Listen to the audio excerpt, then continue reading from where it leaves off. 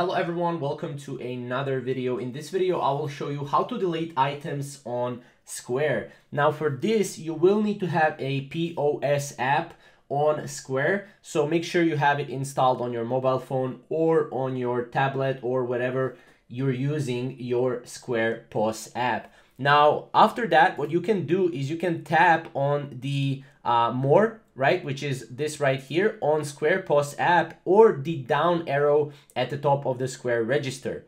Then all you have to do is tap items all items and then just search and scroll through your item list and tap on an existing item and then you can click update the item and then you can choose to save your changes or you can choose to tap and delete item from this location. This is how easy it is to delete items on Square. Now obviously um, you know you can update item from the edit item page as well. So just go to edit item page and then all you have to do is just follow these steps and that's pretty much it. This is how easy it is to delete items on Square. Now, if you have any questions or maybe comments around this, definitely comment down below and we'll see you in the next upcoming Square video. Thank you guys for watching.